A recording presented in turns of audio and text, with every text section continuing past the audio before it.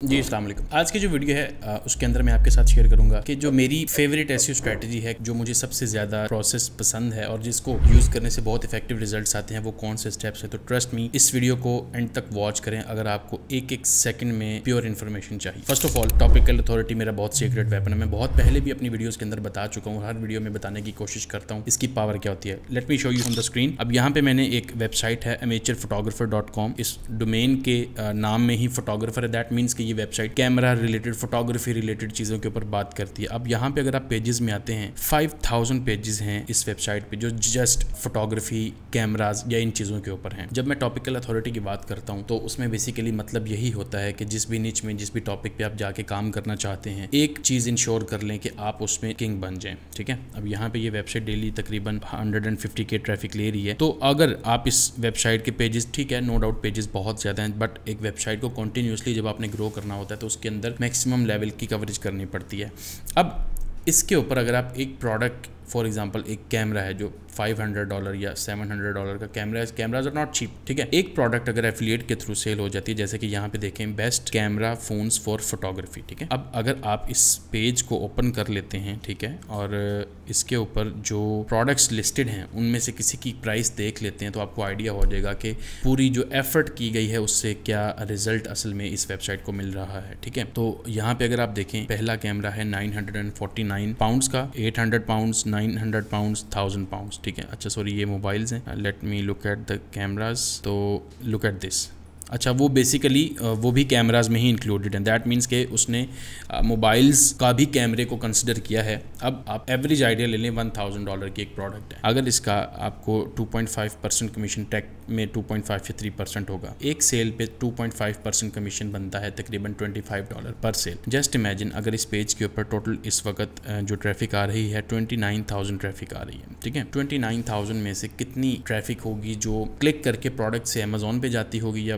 Buying जहाँ से भी परचेज होनी है प्रोडक्ट एफिलिएट्स हैं। अगर आप हाफ़ भी कंसिडर कर लें उसको, उस हाफ़ में से अगर ट्वेंटी परसेंट टेन परसेंट लोग सिर्फ़ कन्वर्ट होते हैं तो ट्रस्ट मी थाउजेंड्स में नंबर है। जस्ट एक सेल पे twenty five dollar and multiply that just with one thousand तो twenty five thousand dollar are straight away in front of you ठीक है? This is the power of S अब आप आगे देखें तो कितने पेजेस हैं? थोड़ी थोड़ी ट्रैफ़िक सब पे कहीं ना कहीं से आ रही है और ये देखें। अगर आप गौर से देखें तो यहाँ पे बेस्ट बजट कैमरा फिर यहाँ पे देखें आईफोन 14 वर्सेस आईफोन 13 तो ये भी कंपैरिजन है दो प्रोडक्ट्स का। अगर इस पेज पे 2000 ट्रैफ़िक भी आ रही है तो वो 2000 आने वाले जो बंदे हैं, वो दोनों में से किसी एक को बाय करना चाहते हैं। तो हर एक पेज से कितना रेवेन्यू जनरेट हो सकता है, और हो रहा है, हो सकता नहीं है, ठीक है? This is the power of topical authority तो अगर आपको फॉर एग्ज़ाम्पल अपने निच में डोमिनेट करने के लिए 500 700 पेज लिखने पड़ गए हैं, उसमें से अगर गिनती के 40-50 पेजेस भी ऐसे हैं जिन पे ट्रैफ़िक आ जाए और जिनसे आपको बिज़नेस जनरेट होने लग जाएगा, वो सारी कॉस्ट आप कवर कर सकते हैं। वाई बिकॉज़ आपको सब पेजेस पे रैंक करना ज़रूरी नहीं है और ट्रस्ट में सब रैंक भी नहीं होते, आप जो मर्ज़ी कर लें। दुनिया की कोई भी बड़ी से बड़ी वेबसाइट आप उठा के देख लें। अगर आप इसके फॉर एग्ज़ाम्पल पेजेस को देखते हैं तो five hundred and five thousand forty four something pages हैं साढ़े पाँच हज़ार पेजेस यहाँ पे आके ट्रैफ़िक हंड्रेड तक चली। आगे traffic hundred and sixty seventy थोड़ी थोड़ी ट्रैफ़िक होना शुरू हो जाएगी। डेफिनेटली हाफ़ से भी इवन इसके ट्वेंटी परसेंट पेजेस पे ट्रैफ़िक होगी, बाकियों पे होगी भी नहीं। बट वो ट्वेंटी परसेंट पेजेस पे जो ट्रैफ़िक आ रही है, वही टारगेट था, जो अचीव हुआ। आपको भी यही करना है टॉपिकल अथॉरिटी शुरू कहाँ से होगी? जब भी रिसर्च करने लगे हैं, अपनी निच के लिए ज़्यादा से ज़्यादा कीवर्ड्स निकाल लें। अब देखें, ये वो प्रोसेस है जो अगर लोग कर रहे हैं, उनको रिज़ल्ट आ रहे हैं। अगर आप कहें कि नहीं, ये तो वर्क नहीं करता I am not bluffing I am not saying something hypothetical है या अपनी तरफ़ से कुछ नहीं कह रहा। Things are in front of you खुद देख के डिसाइड कर सकते हैं हु एम हेयर टू जो आपको ये कहे कि ये कर लें, वो कर लें। मैं कुछ भी नहीं हूँ। आपके सामने जो चीज़ है, वो खुद बताएगी, आपको बोल के कि हाँ भाई दिस इज़ समथिंग जो एक्चुअली वर्क कर रही है। अब अगर आपको भी इसी तरह इस स्ट्रेटजी को एग्जीक्यूट करना है, कोई रॉकेट साइंस है नहीं, इसके अंदर बड़ी सिंपल सी चीज़ है, जिस भी निच में हो मैक्सिमम कीवर्ड्स को रिसर्च कर लो। रिसर्च के ऑलरेडी बहुत दफ़ा मैं वीडियोस बना चुका हूँ। इवन आपको चैनल के ऊपर अभी रिसेंटली एक वीडियो मिलेगी जिसके अंदर आपको थर्टी डेज़ का प्लान भी मिल जाएगा कि किस तरह से थर्टी डेज़ में आप अपनी वेबसाइट के फ़र्स्ट थर्टी डेज़ की स्ट्रेटजी को एग्जीक्यूट करते हो। आफ्टर दैट आपने अपनी जो रिसर्च है, उस रिसर्च में मैक्सिमम कीवर्ड्स निकाले, उनको कैटेगराइज कर लें। कैटेगराइजेशन बहुत ज़रूरी है। जब भी आपने क्लस्टरिंग करनी है तो बेसिकली उसको कैटेगराइज कर देना है। तो क्लस्टर्स बेसिकली है क्या? क्लस्टर का मतलब ये होता है कि आप जो एक टॉपिक से रिलेटेड कीवर्ड्स हैं या एक सब टॉपिक से रिलेटेड जो कीवर्ड्स बनते हैं, उनको एक जगह इकट्ठा कर दें, बाकियों को अलग कर दें। तो करते करते आपके पास मल्टीपल क्लस्टर्स हो जाते हैं जिनमें जब कंटेंट पोस्ट होगा, उनको आपस में इंटरनल लिंकिंग के थ्रू आपने वेबसाइट का स्ट्रक्चर बिल्ड करना है। तो एक हरारकी बनेगी जिसमें सब पेजेस आपस में इंटरनल लिंकिंग के थ्रू कनेक्टेड होंगे। देन एक भी पेज से अगर क्रॉलर आया, जितने आगे इंटरनल लिंक्स लगे होंगे, उन सब तक वो जाएगा। This is the power of internal linking और यही गूगल चाहता है। जिस पेज को कोई इंटरनल लिंक नहीं मिल रहा होगा, उसको ऑर्फन पेज बोला जाता है और उसको गूगल भी नहीं क्रॉल करेगा, उसको गूगल विज़िट भी नहीं करेगा और वो बेचारा एक झुंड से अलग पड़ा होगा और वो स्ट्रगल करता रहेगा। आपकी साइट की सक्सेस तब होगी जब जितने भी पेजेस हैं वो सारे इकट्ठे होकर काम कर रहे हैं एक्टिवली आपस में एक दूसरे को लिंक कर रहे हैं और इंटरनल लिंकिंग से खाली गूगल मूव नहीं करता। ट्रॉपिकल अथॉरिटी का सबसे बड़ा फ़ायदा क्या है? अगर एक पेज पे कहीं से भी नेचुरल बैकलिंक आ गया, उसका लिंक जूस जितने कनेक्टेड पेजेस हैं सब तक फ्लो होगा। फिर क्रॉलर उस लिंक के थ्रू आएगा तो अल्टीमेटली साइट की क्रॉलिंग फास्ट होगी। जितनी भी बड़ी वेबसाइट्स हैं, उन पे एक पेज पब्लिश अगर होगा, आप कभी नोट करना इस चीज़ को किसी भी बड़ी वेबसाइट के पेज पे। जो रिसेंट पब्लिश हुआ हो, उस पर टाइम स्टैम्प आ रही होगी। उसके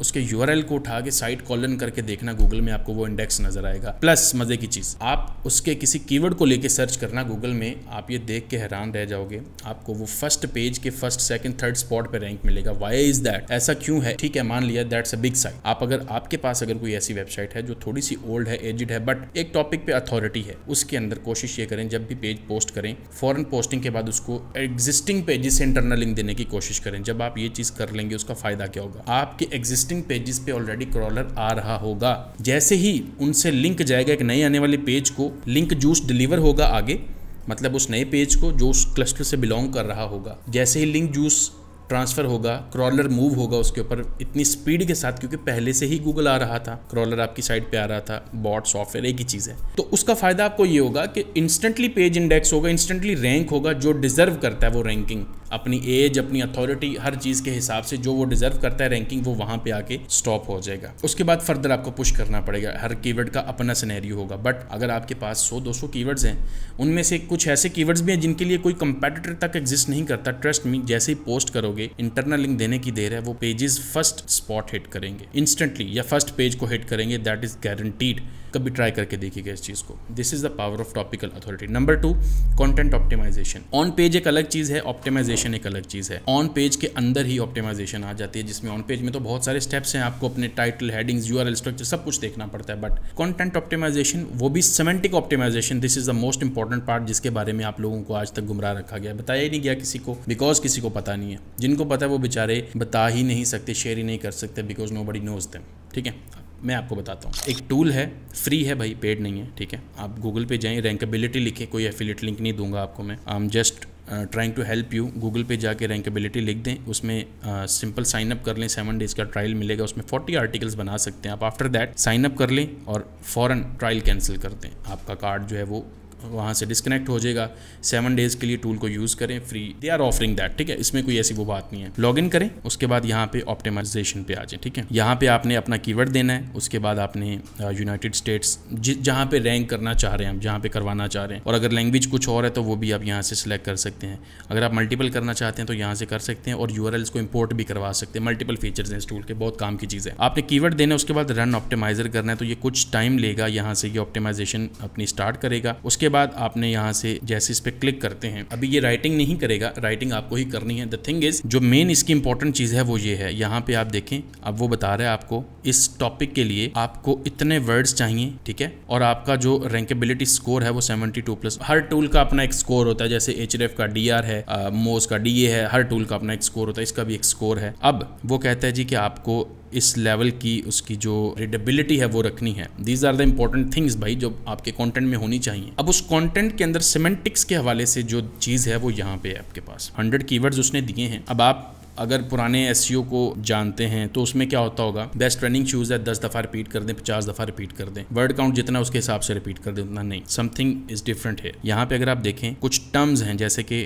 लाइट वेट है। ये एक से पाँच दफ़ा यूज़ कर सकते हैं आप। और ये होनी चाहिए मैक्सिमम पाँच दफ़ा, उससे ज़्यादा नहीं करनी ओवर यूज़ है। तो आपको मिनिमम और मैक्सिमम कौन सी टर्म्स कितनी दफ़ा यूज़ करनी है अपने कॉन्टेंट में, ये टूल बताएगा। तो हंड्रेड टर्म्स हैं, ठीक है? और उनका नंबर कि हर टर्म कितनी दफ़ा आ सकती है? लाइट वेट का वर्ड पाँच दफ़ा मैक्सिमम कंटेंट में यूज़ करना है। अब अगर आप मैक्सिमम से भी ऊपर इन वर्ड्स को यूज़ करना शुरू कर दोगे, उसका नुकसान क्या होगा? आपका कंटेंट ओवर ऑप्टिमाइज होगा। वो और किसी टॉपिक से बिलोंग करना शुरू कर देगा। दिस इज़ द पावर अब ये कर क्या रहा है? ये टॉप रैंकिंग पेजेस से मेन चीज़ निकाल के लिए क्या रहा है डाटा निकाल के लिए क्या रहा है। After that trail running shoes we are talking about running shoes best running shoes तो यहाँ पे लाइट uh, वेट की बात होगी ट्रेल रनिंग की बात होगी daily trainer trail shoes carbon fibre plate road running long distances all these terms are semantically relevant to the topic जो टॉपिक को मैंने यहाँ पे शूज़ का टॉपिक दिया ठीक है? ये उससे रेलिवेंट है। This is the power of semantic optimization अब इन कीवर्ड्स को बेसिकली अब कॉन्टेंट में यूज़ करना है। तो राइटिंग के लिए जारी बात है आपको राइटिंग आना ज़रूरी है। और uh, उसके लिए मैं ऑलरेडी वीडियो भी बना चुका हूँ या फिर आप चैट जीपीटी को ये डाटा दे के बोले भाई write content on this simple is that ठीक है? अच्छा अब आपको इस चीज़ का ख्याल रखना है कि आपके कंटेंट के अंदर ये जो वर्ड्स हैं कितनी दफ़ा यूज़ हो रहे हैं इस चीज़ को आपको बहुत केयरफुली देखना होगा बिकॉज़ uh, इस कॉन्सेप्ट को बोला जाता है T F slash I D F term frequency slash inverse document frequency basically ये कॉन्सेप्ट uh, है जिसके अंदर इस चीज़ को गूगल देखता है कि आपके टॉपिक से रिलेटेड जो टर्म्स हैं सीमेंटिकली रिलेटेड टर्म्स हैं वो कितनी दफ़ा आपके कॉन्टेंट के अंदर आ रही हैं और uh, कितनी टर्म्स हैं टोटल तो अगर मैं यहाँ पर आपको एक एग्ज़ाम्पल के लिए एक पेज दिखाता हूँ ये जो पेज है इस एक पेज का जो टॉपिक है, वो है best camera phones for photography but एक चीज़ मुझे ये बताएँ कि ऐसा क्या इस पेज ने किया हुआ है कि ये एक अकेला page six thousand plus keywords पे रैंक कर रहा है। अब अगर मैं यहाँ पे इस, इसके कीवर्ड्स को ओपन कर लेता हूँ ना तो आपको देखने में क्या मिलेगा कि वो जो सिक्स थाउज़ेंड कीवर्ड्स हैं फॉर एग्जांपल ये एक कीवर्ड है बेस्ट कैमरा फ़ोन एक कीवर्ड है डीएसएलआर क्वालिटी कैमरा फ़ोन कितने लोग सर्च करते हैं? सिक्स पॉइंट फाइव थाउज़ेंड मतलब साढ़े छः हज़ार लोग सर्च करते हैं ऑल ओवर द वर्ल्ड जहाँ पे भी। और इस कीवर्ड के लिए नंबर वन पोजीशन पे ये रैंक है और इसको इतनी ट्रैफ़िक मिल रही है वहाँ से। जारी बात है मल्टीपल स्पॉट्स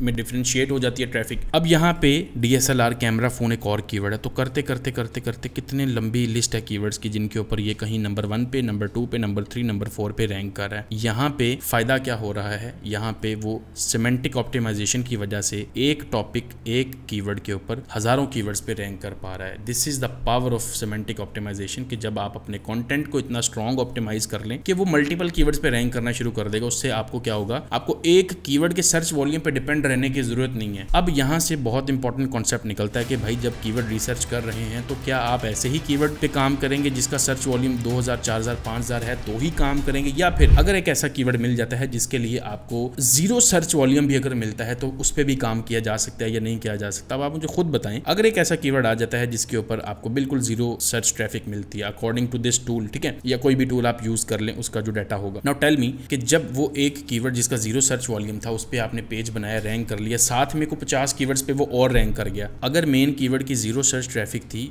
रिलेटेड कीवर्ड्स की किसी ना किसी कीवर्ड की तो एक, दो, चार ट्रैफ़िक होगी ना?